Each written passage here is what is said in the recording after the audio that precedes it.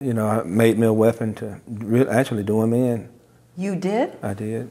You made a weapon to kill him? Mm-hmm. Wow. I mean, after happened? after learning that he had been bragging about, you know, me being incarcerated for a crime that he had committed, that I've served in time for it, I just made me a weapon to, and I told him, I said, when I get the opportunity, you're mine. But you know, my father came and paid me a visit late on, and I told him what my intentions were, and he told me, he said, Ron, he said, don't do it. He said, you tell me that you're innocent, I believe. He said, but if you take this man's life, this is why you're gonna spend the rest of your life. So I took it and I laid there on a few days. Uh, you know, I went to my bunk every night after I got off of work, you know, with my weapon in my hand, laying across my chest because he slept in the same dormitory that I did.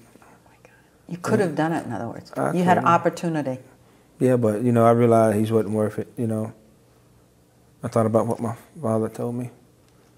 And I said, well, I just let his conscience eat him. And so I took the weapon and dropped it into a hole that was in the floor and let listened to it rattle going down.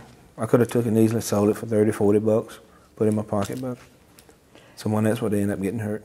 You never told him you'd change your mind. No, I didn't. You, you let him suffer a little. Yeah, well, he was making me suffer daily, you know.